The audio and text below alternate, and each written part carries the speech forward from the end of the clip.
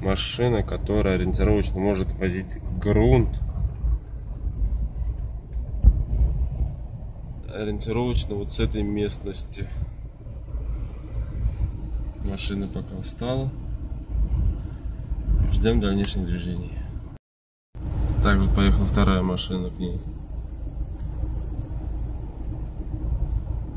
Вторая машина к ней. Вот у нас машины, мусорки стоят